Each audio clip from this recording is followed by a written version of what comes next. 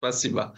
Э, у нас э, вопрос о э, дыхательной пути особо. Э, мы будем разговаривать про э, вот, э, взаимодействие между, э, между анестезиологом и хирургом во время операции. Э, конечно, э, самое важное в таком моменте, именно когда мы говорим о опухоли головы и шеи, наверное, самое главное – это отличие нашей операции от других операций, которые проводятся на организме. Э, поэтому, думаю, самые серьезные вот моменты у нас, которые появляются для обсуждения, это самое главное, это как бы упомнили, это дыхательные пути, особенно когда ты, то есть тяжелый или неадекватные дыхательные пути для интубации. Потом второй момент – это э, обеспечение вот этой э, циркуляции вот этого организма. В общем, это кровь и все остальное, что связано с ним. Уже наши коллеги об этом разговаривали. Вот. И третий момент – это так называемый на английском это field issue, то есть э, вопрос о территории работы, где мы работаем, как вы знаете, что голова шея и анестезиология, а мы все собираемся в кучу на один метр. И это создает свои, вот это, свои особенные проблемы. Последний это time issue, это э, вопрос времени. Э, мы знаем, что, э, что большинство операций головы и шеи, э, они на, то есть не так быстро заканчиваются, им нужно долгое время, поскольку это место, тяжелое место, там куча структур, куча важных органов, поэтому нужно будет медленно работать и как бы как можно сохранить все. Вот. Начало, если мы говорим про дыхательные пути, это самая главная работа для анестезиолога и для хирургического тима. Вот как основное, как работа, это обеспечение э, дыхательных путей, обеспечение э, respiration, э, так называемый. Вот. И этот э, вопрос должен быть обсужден между хирургом и анестезиологом заранее до операции и с расчетами на время операции и после операционного периода. Должна быть оба э, как бы рассмотрена. Большинство вот эти летальные исходы таких операций, как наши, как и другие, именно они связаны либо заранее, либо э, на за время после операции. Это связано с обеспечением дыхательных путей или проблемы с дыхательными путями. Э, если мы говорим про nasal-oral-tracheal э, intubation, имеем в виду, что интубация через рот или через нос, которая проводится в большинстве нормальных операций, такой проводится, то э, для нас они желательны, они сами меньше у них э, с ними проблем по сравнению с другими, допустим, с тракестомией, допустим, если как пример возьмем. Поэтому для нас они желательны и положительно э, просчитываем на, на такие вот эти пути интубации, если это возможно. Это для него не нужно дополнительные вот эти навыки, дополнительные инструментации, дополнительные процедуры. Для пациента очень намного желательнее, поскольку пациент не думает о дополнительных дырках или операциях на шее, э, о страданиях другие, потере голоса и куча такие вот эти моменты для них, э, которые для них это очень важно. Поэтому для них тоже это, думаю, это предпочтительно. Э, Еще вот последний момент для пациента опять и для э, врача, наверное, тоже важно. Э, такой путь обеспечения дыхания во время операции обеспечит врачу и пациенту после операции хорошее вот это, как так называемое питание, которым нужно именно питаться по правильным путем. И плюс еще коммуникация между врачом и между пациентом, который по всем параметрам это очень-очень важно. Потому что после операции пациент в страхе, как ребята уже упомянули, коллеги упомянули, и врач сам тоже, ему нужен передать какие-то моменты, какие-то надежды или какие-то объяснения или инструкции, а и между пациентом и врачом должна быть какая-то коммуникация. Поэтому такая, такая методика, допустим, если возможно через нос или через рот, это отлично, если не нужно будет делать трикостомию. Но, к сожалению, мы знаем для обычных людей, э, даже без всякой как бы, опухоли на этой территории, мы знаем, что где-то 18% э, людей, которым нужна операция, у них появляются сложности во время интубации. Это по данным Джонсон и Хартсон э, в 2001 году. Конечно, есть методики как бы калькуляции, которые нужно либо перед операцией, либо во время операции проводить и узнавать, допустим, мы ожидаем сложности или нет.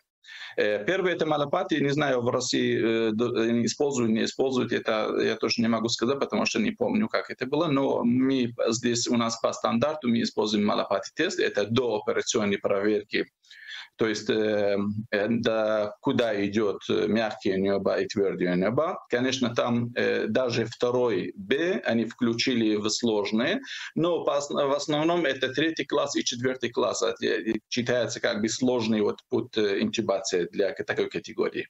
А во время операции, когда уже анестезиолог попробует сделать интубации, тогда третий и четвертый этап, э, класс, они считаются сложным. Для хирурга, для анестезиолога, для нерса, для всех, когда пациент появляется э, э, полным, с маленькой нижней челюсти, с большим, с большим языком и с короткой шеей. Это уже проблема. Замира Ахмедовна прекрасно знает, допустим, насколько сложно на таких пациентах оперировать на шее.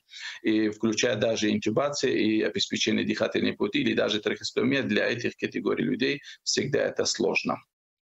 Э, на этом с э, картинке показано, допустим, Малапати и Кормак, о чем они говорят. Конечно, это всем известно, это не новая методика, это давно используется, поэтому, думаю, не нужно будет ничего здесь объяснить.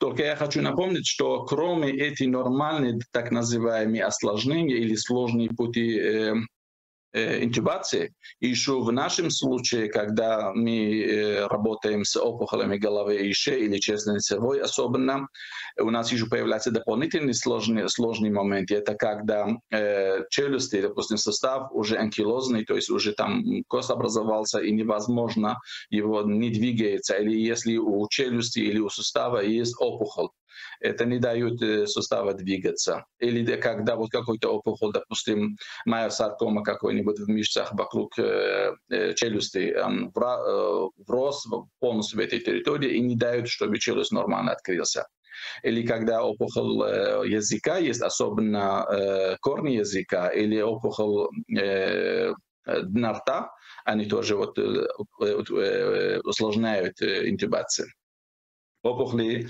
э, гортани и горла гортани и так далее. Они тоже усложняют намного.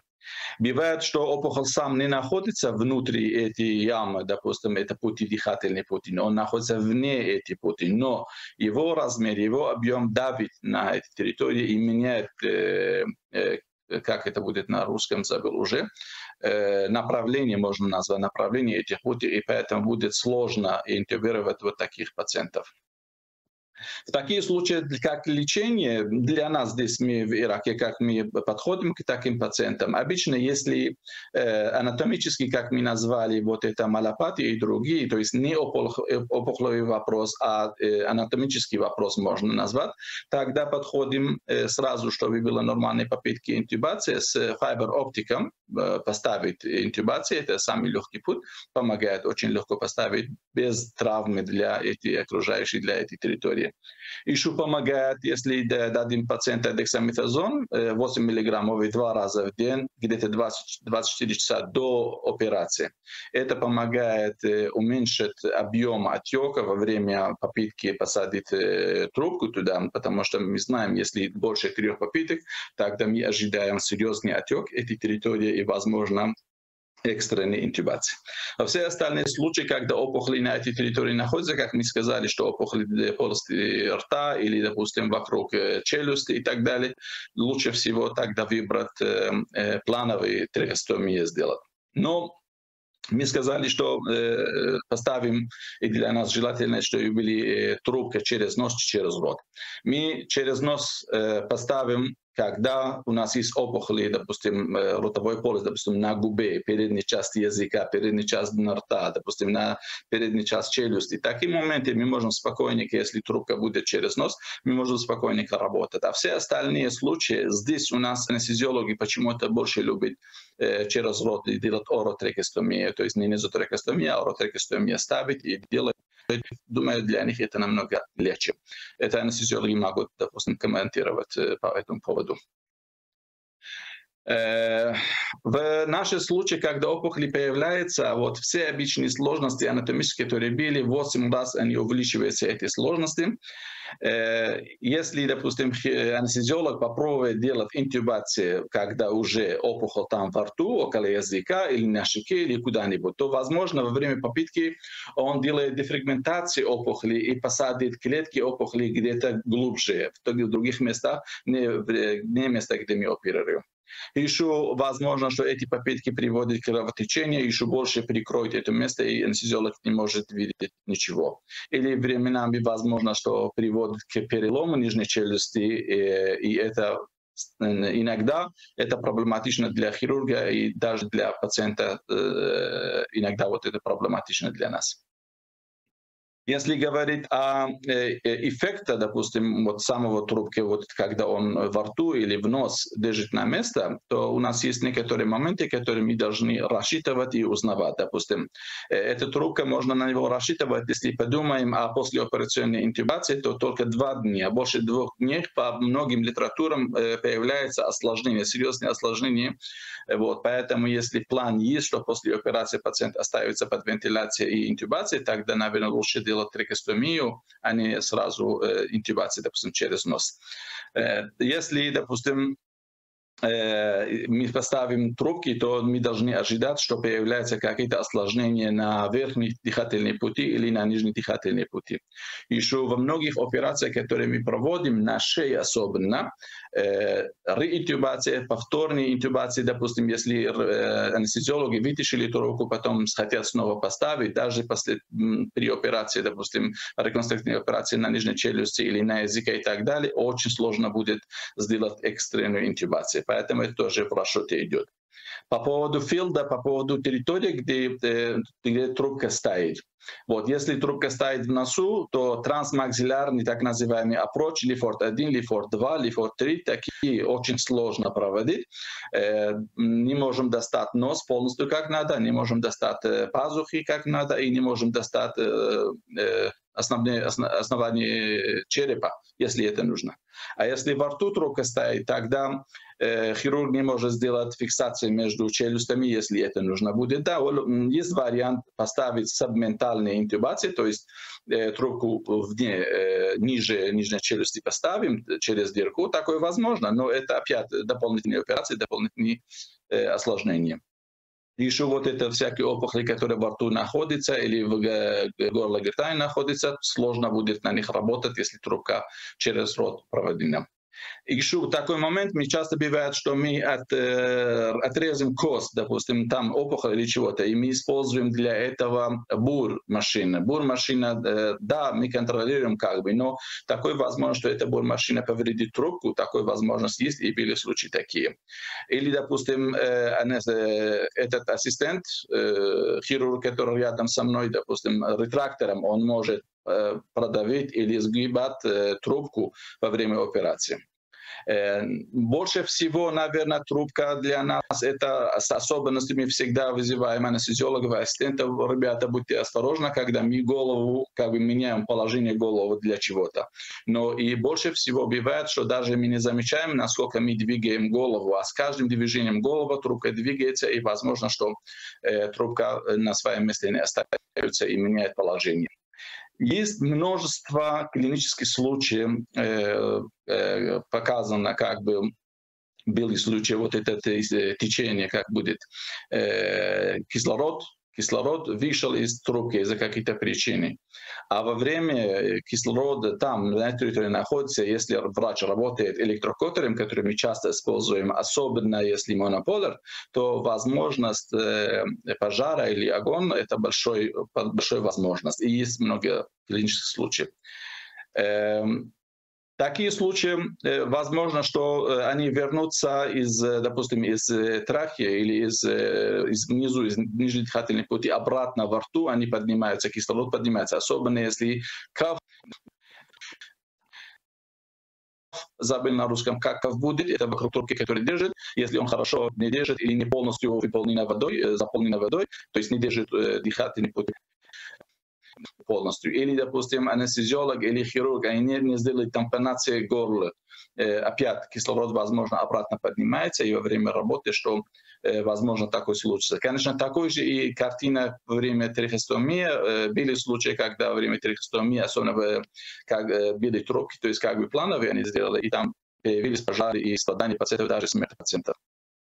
Возможно, э, такой вот кислород обратно идет э, от э, вот такие э, части вот этой трубки, которые с аппаратом соединяются, у нас называется joints. Э, то есть между этими, когда соединяются как сустав, бывает, что они слабенько состоятся, а как правило, такие трубки, они вне э, эти тряпки, которые мы поставили, они на, на филды, на, на этом месте, где мы работаем, поэтому если кислород будет, то он, возможно, сразу к нам попадает. Вот и такие говорят, многие говорят, э, авторы говорят, что большинство такие вот эти пожары, огонь, такие возможно, когда э, вот давление, кислородное давление больше 50. Вот. И э, я сказал, во время трахеостомии тоже есть. Конечно, рекомендаций очень много есть по этому поводу. Допустим, во время трахеостомии, если проводятся такие операции, лучше использовать не ниже давления 25 или смешивать вот гелиум с обычным воздухом или с кислородом, чтобы уменьшить такую возможность.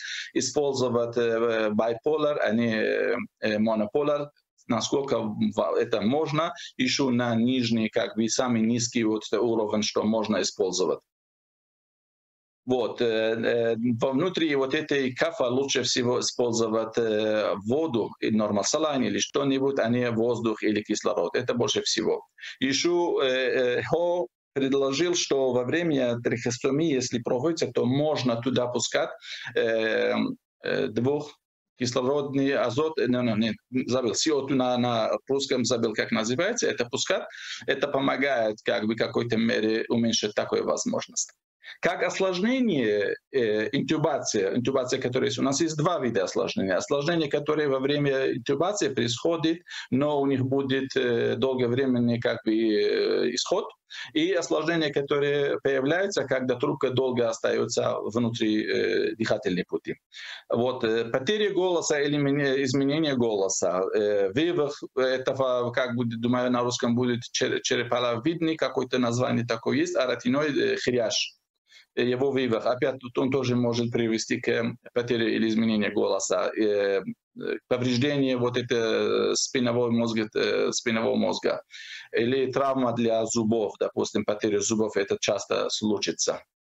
Вот. Если говорим о долге, вот эти, когда долго трубка остается, то э, больше всего это появляется язва или, допустим, э, изменение кожи вокруг этих мест, где стоит пластырь или что-нибудь, где закреплены эти трубки.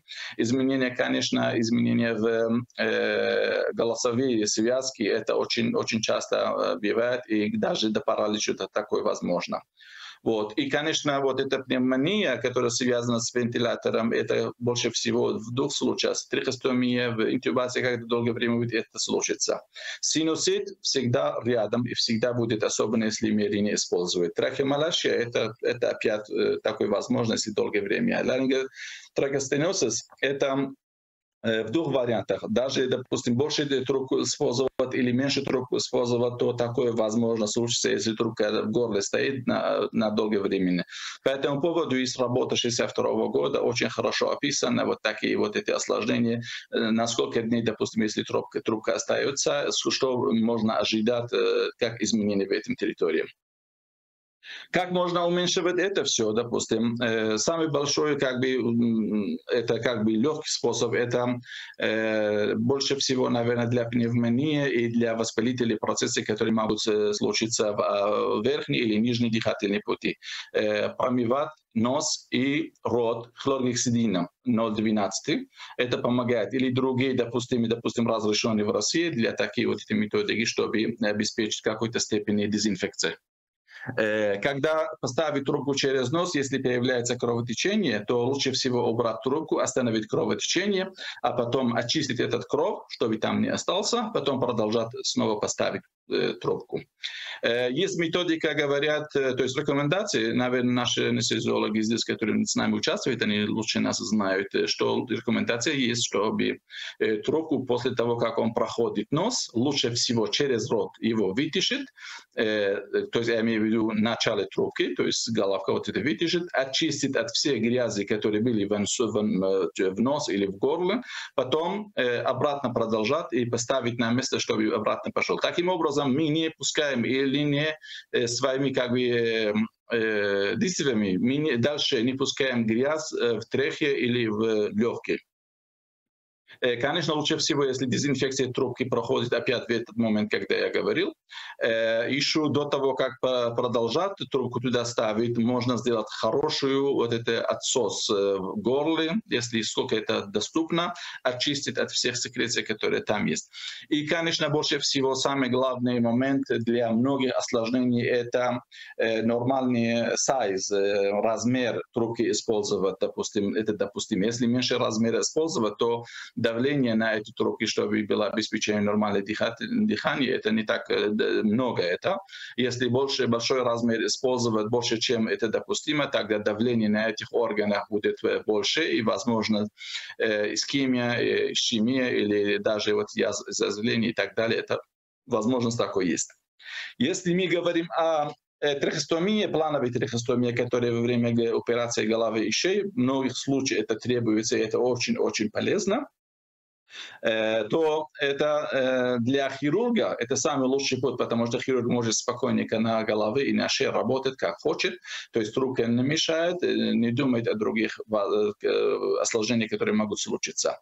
Это, допустим, если делать трахостомию, плановый трахостомию, хирург не будет думать, и анестезиолог не будет думать, сделать экстубацию или не сделать, потому что путь уже готов, можно продолжать интубацию, можно поставить на вентилятор или можно просто убрать после операционной. То есть это не будет особо проблема легкие, легко все работает, и, конечно, будет меньше всяких осложнений, связанных с э, интубацией. Но здесь такой момент часто у нас бывает здесь в Ираке. Сам я э, любитель больше э, трубку через нос, через рот, а не трахеостомию. Почему? Потому что э, у нас были случаи смерти просто из-за ухода, из-за э, этой трахеостомии не могли нормальный уход делать, и были э, случаи смерти. Поэтому я особо не люблю из, именно из этого. Если я был бы в России с сестринской службой, которая там есть, тогда я, наверное, больше всего выбрал бы трихостомию, плановую трихостомию, а не э, трубку через нос.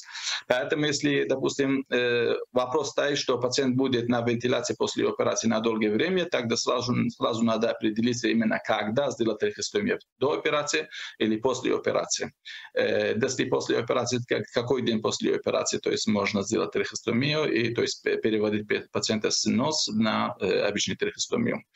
Вы все слышали про осложнения, связанные с трахеостомией, поэтому я не буду проводить это все, что там есть. Конечно, очень много осложнений, но это все, думаю, с нормальным уходом с, на трахеостомию, то есть если нормальная служба есть, вот, думаю, такие осложнения уменьшаются, и на этом доказательства есть публикации на ЧЕСТ, на других хороших журналах об этом говорят, что были много случаев трахеостомии без каких-либо э, серьезных осложнений. Это были короткие, но это излечимо. Вот. Если проговорим про э, extubation problem, то есть э, когда убрать трубку, то есть заранее хирург должен сказать анестезиологу, что он ожидает, допустим, э, большая операция на голове и шее, допустим, около горла. Вот. Если такие большие операции проводятся, конечно, будет очень серьезный отек, конечно, будет очень много изменений на этой территории, структурные изменения, поэтому вряд ли возможно, чтобы пациента оставить на трубку через нос, э, то есть э, убрать после операции сразу убрать трубку, и все будет в норме. Наверное, придется пациенту оставить на трубку на какое-то время, чтобы какой-то, как бы, как структурные изменения здесь э, на, на место остались и были путь для дыхания. Вот. Особенно такие вот случаи, это когда операция идет на языке, на горле или на гортани. Вот такие вот случаи всегда нужно определиться заранее до операции. Быстренько прохожу про э, circulation. Здесь я про Ирак говорю. Э, здесь у нас, когда мы оперируем на сосудистые вот эти опухоли, когда мы работаем на средней зоне лица, когда мы работаем на основании черепа, или когда у нас есть большой опухоль. Большой опухоль имеется в виду, когда размер больше 10 сантиметров и далее. Вот такие случаи мы заранее готовим кровь, потому что мы знаем, что ожидаем, наша территория очень снабжена кровью. Конечно, мы стараемся делать гемостаз, но все равно нужно будет как бы готовить кровь заранее, что время операции, если нужно будет проводить. Другой момент при э, нашей работе на голове и шее – это брадикардия. Э, не знаю, ребята об этом говорили или нет, я не слышал. Э, часто бывает, что когда мы работаем, э, наши действия приводят к брадикардию. А брадикардия, вы знаете, что там, возможно, приводит к другим осложнениям. Особенно такое внимание, это когда мы работаем на опухолях внутри этого глазницы, а вокруг э, орбиты, допустим.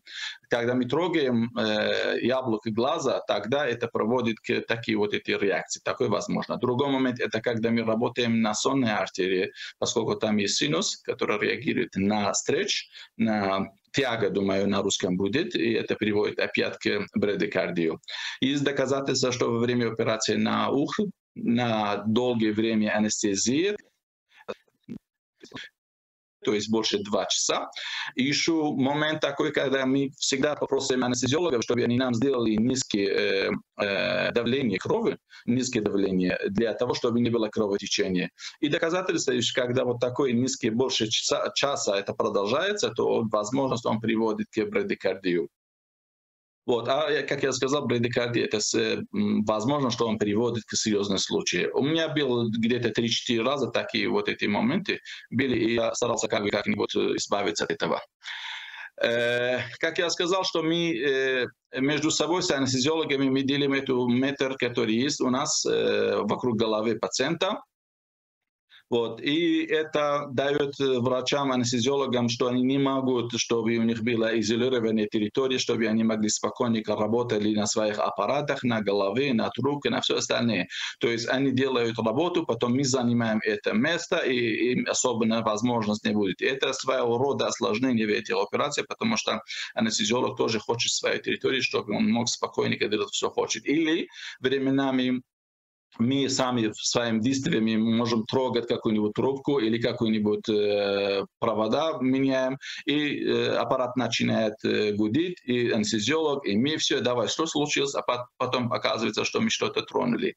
Или наоборот, допустим, анестезиолог попробует что-то, как бы что-то хорошее для пациента делать, но он э, загрязняет наши как бы территории, которые мы думали, что чисто, именно чистой территории работаем. По поводу времени, все наши операции, как я сказал, они больше часа занимают, и каждый дополнительный час это дополняет возможность осложнения. И эти осложнения, они связаны с усталостью э, хирургического состава, с усталостью анестезиологов и, конечно, с физиологическим состоянием пациентов. Вот. И спасибо за внимание. Это все, что я хотел поговорить об этом.